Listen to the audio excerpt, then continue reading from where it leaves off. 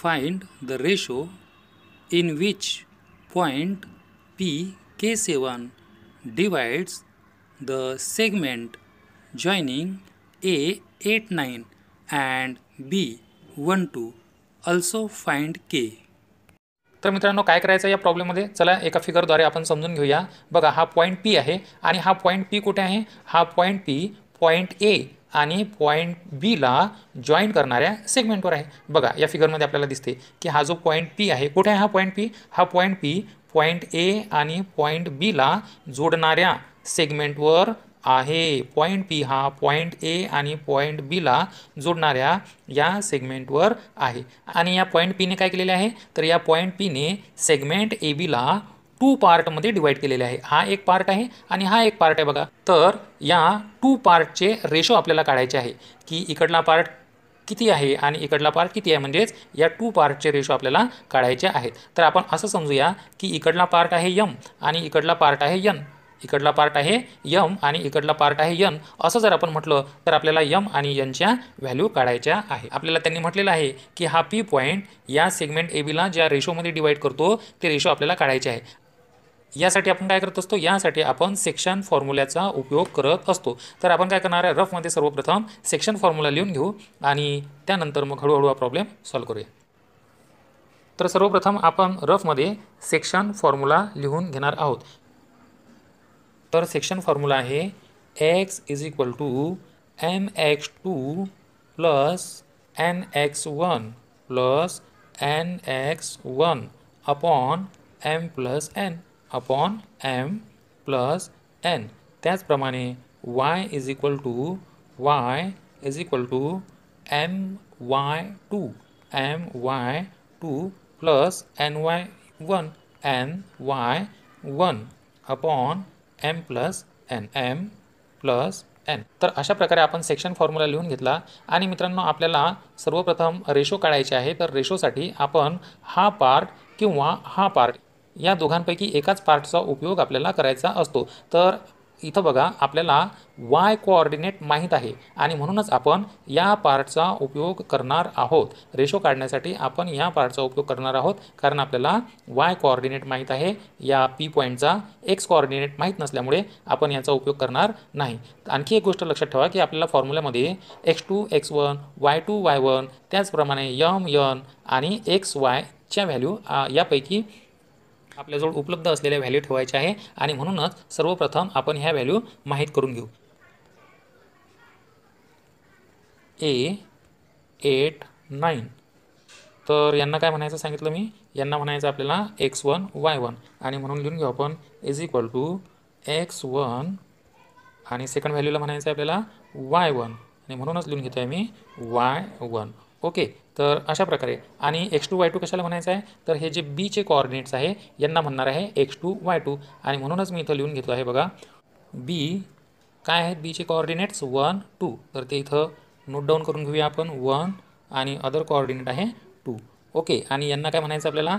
यांना म्हणायचं आहे एक्स टू वाय टू काय म्हणणार आहे यांना? एक्स टू आणि सेकंड कॉर्डिनेटला म्हणणार आहे आपण वाय टू तर अशा प्रकारे मित्रांनो आपण X one Y one X two Y टूच्या value note केल्या. आपल्याला एक्स वायच्या व्हॅल्यू पण नोट डाऊन करायचे आहे लिहायचे आहे. तर मी सांगितलं की जो पॉईंट पी आहे या पीच्या कॉर्डिनेट्सला म्हणणार आहे आपण एक्स वाय ओके आणि म्हणूनच इथं लिहून घेऊ आपण. पी चे कॉर्डिनेट्स कोणते आहेत? के आणि सेवन तर के आणि सेवन तर मित्रांनो यांना काय सांगितलं मी? यांना काय कन्सिडर करायचं आपल्याला? यांना कन्सिडर करायचं आहे एक्स वाय आणि म्हणूनच आपण इथं नोट करून घेऊया. X Y. ओके अशा प्रकारे. आता मी तुम्हाला सांगितलं की आपल्याला रेशो काढण्यासाठी या वाय पार्टचा उपयोग करायचा आहे. यामध्ये व्हॅल्यू ठेवायचा आहे. शांततेनं बारकाईने लक्ष द्यायचं आहे. आणि म्हणूनच एवढा पार्ट मी इथं लिहून घेणार आहे. काय आहे फॉर्म्युला आपला? फॉर्म्युला आहे y is equal to m y two m y two plus n y one n y one upon m plus n m plus n तर अशा प्रकारे आपण हा फॉर्म्युला लिहिला आणि यामध्ये व्हॅल्यू ठेवायची आपल्याला. ओके तर बघा वायची व्हॅल्यू काय मित्रांनो? वायची व्हॅल्यू आपल्याला इथं दिसून येते की वायची व्हॅल्यू आहे सेवन वायची व्हॅल्यू सेवन आणि म्हणून आपण इथं लिहिणार आहे सेवन इज इक्वल टू बघा एमची आपल्याकडे काही व्हॅल्यू नाही म्हणून एम जसेच्या तसे लिहून घेतो आहे मी एम जसेच्या तसे. आणि वाय टूची काय व्हॅल्यू आहे आपल्याकडे? तर मित्रांनो बघा वाय टूची व्हॅल्यू आहे टू आणि म्हणूनच इथं लिहायचं आपल्याला अशा प्रकारे आपण टू लिहून घेतले. प्लस पुढे काय करायचं आहे? एन तर एनची सुद्धा आपल्याकडे व्हॅल्यू नाही म्हणून जसेच्या तसे आणि वाय वन तर वाय वनची व्हॅल्यू आहे आपल्याकडे नाईन बघा वाय वनची व्हॅल्यू नाईन आणि म्हणूनच इथं आपण लिहिणार आहोत नाईन खाली एम प्लस एनची व्हॅल्यू लिहायची आहे परंतु आपल्याकडे एम आणि एनच्या व्हॅल्यू नाहीत. म्हणून हे जसेच्या तसे लिहून घेणार आपण एम प्लस एन. ओके. पुढच्या स्टेपमध्ये आपल्याला काय करायचं आहे? पुढच्या स्टेपमध्ये क्रॉस मल्टिप्लाय म्हणजेच या एम प्लस एनने या सेवनला आपण मल्टिप्लाय करणार आहे. तर बघा सेवन आणि या सेवनला कशाने मल्टिप्लाय करायचे आहे? एम प्लस एनने तर seven multiply m plus n okay. Is equal to is equal to काय करायचं टू मल्टिप्लाय एम म्हणजेच टू एम तर लिहून घेऊया two m plus nine multiply n म्हणजेच काय? Nine n. तर लिहून घेऊया नाईन एन. ओके. पुढची स्टेप कशी करता येईल मित्रांनो आपल्याला? तर थोडं सिम्प्लिफाय करायचं आहे. बघा या सेवनने जर यमला मल्टिप्लाय केलं तर आपल्याकडे येणार आहे सेवन यम प्लस या सेवनने जर यनला मल्टिप्लाय केलं तर आपल्याकडे व्हॅल्यू येणार आहे seven n okay. Is equal to या साईडला ही जी साईड आहे म्हणजेच राईट साईड जशीच्या तशी लिहून घेणार आहे आपण two m plus nine n nine n. Okay. आता पुढच्या स्टेपमध्ये काय करणार आहोत? तर पुढच्या स्टेपमध्ये एमच्या टर्म लेफ्ट साईडला घेऊ आपण आणि एनच्या टर्न राईट साईडला घेऊ.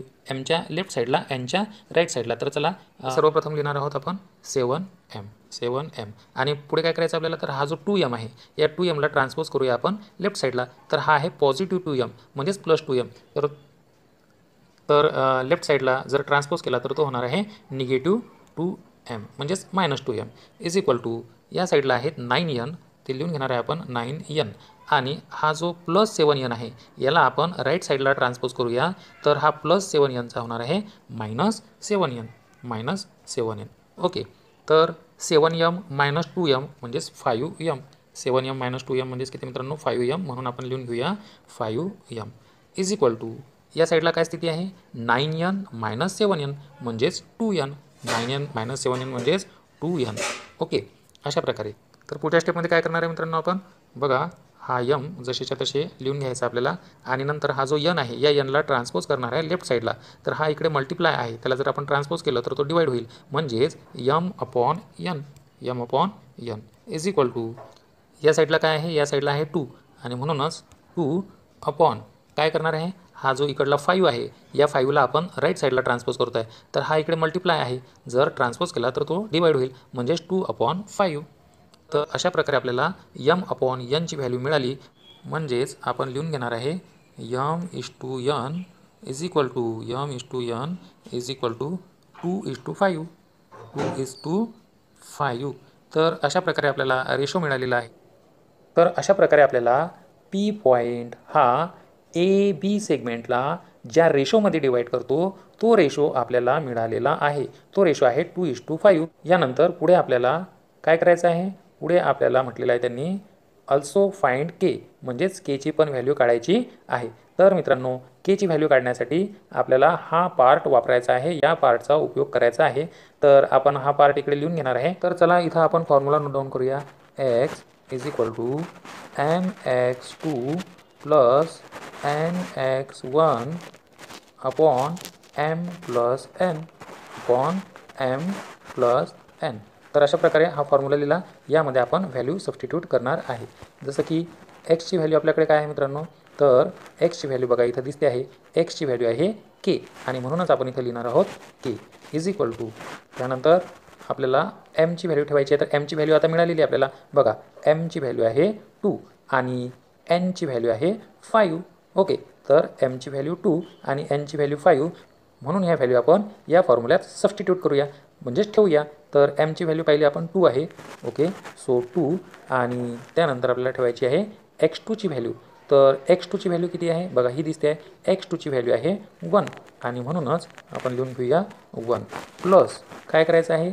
एनची व्हॅल्यू तर मी इथं सांगितलंच आपल्याला एनची व्हॅल्यू आहे फाईव्ह आणि म्हणून नोट डाऊन करूया फाईव्ह आणि नंतर एक्स वनची व्हॅल्यू ठेवायची आहे. तर बघा एक्स वनची व्हॅल्यू आहे एट तर लिहून घेऊया आपण एट ओके पुढे काय करायचं आहे? खाली एम प्लस एन तर एम प्लस एनच्या व्हॅल्यू काय असणार आहे? बघा एमची व्हॅल्यू टू एनची व्हॅल्यू फाईव्ह म्हणजेच टू प्लस फाईव्ह तर पुढच्या स्टेपमध्ये आपण सिम्प्लिफाय करणार आहे. चला बघा कशा प्रकारे करता येईल आपल्याला की इज इक्वल टू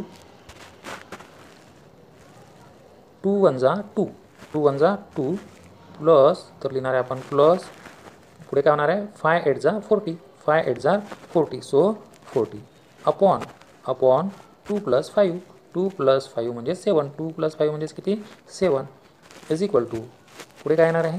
अगदी simple is equal to two plus forty means forty two two plus forty means forty two upon upon seven जशीच्या तशी. तर आपल्याला माहीत आहे यांचा जे फायनल ॲन्सर येईल सेवन सिक्स जा फोर्टी टू सेवन सिक्स जा फोर्टी टू आणि याचाच अर्थ व्हॅल्यू किती आलेली आहे? सिक्स तर अशा प्रकारे केची व्हॅल्यू आलेली आहे सिक्स आणि म्हणूनच आपण लिहून घेणार आहे पॉईंट पी बघा आणि म्हणूनच आपण लिहून घेणार आहे बघा काय लिहायचं आपल्याला? Point P divide segment A B in the ratio two is to five तर मी लिहून घेत आहे बघा लिहून घेत आहे and value of k is six तर अशा प्रकारे मित्रांनो आपण हा प्रॉब्लेम पाहिलेला आहे. जर आपल्याला काही अडचणी असतील तर आपण हा व्हिडिओ पुन्हा पुन्हा पहा. निश्चित निश्चित निश्चितच आपल्याला लक्षात येईल. आणि जर व्हिडिओ आवडला असेल तर लाईक करण्यामध्ये जराही कंजूसी करू नका. कारण जेव्हा आपण हा व्हिडिओ लाईक करतात तेव्हा मला लक्षात येते की माझा व्हिडिओ हा मुलांच्या उपयोगाचा आहे त्यांना फायदा होत आहे. आणि त्यामुळे माझा इंटरेस्ट त्यामध्ये वाढतो आणि नवीन नवीन व्हिडिओ बनवण्याची इच्छा होते. त्याचप्रमाणे आपण हा व्हिडिओ लाईक करा आपल्या इतर विद्यार्थ्यांना इतर मित्रांनासुद्धा जरूर जरूर शेअर करा आणि हा तो हा चॅनल सबस्क्राईब करून घ्या जेणेकरून आपल्याला नवीन व्हिडिओची माहिती वेळोवेळी मिळेल. तर भेटूया पुढच्या व्हिडिओमध्ये.